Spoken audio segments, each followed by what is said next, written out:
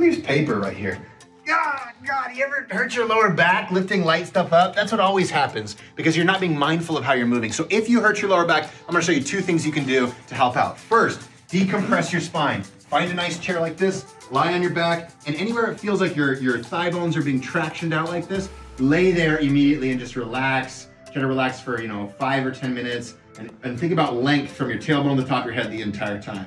Now, once you feel good off that, you can come off the chair slow and control. You can come into this bridge position, drive your heels on the ground, bring your fingertips down, turn your thumbs to the outside, and then just squeeze your glutes like this, a little bit off the ground, okay? And repeat this process real slow. If you feel any pinchy pain, don't do it too high. If it feels good, lift up a little higher, all right? And just go back and forth again for a minute or so to reactivate those glutes and remind your body that it's okay. So give these two drills a shot when you hurt your lower back, and I bet you it'll reduce the time you need to recover.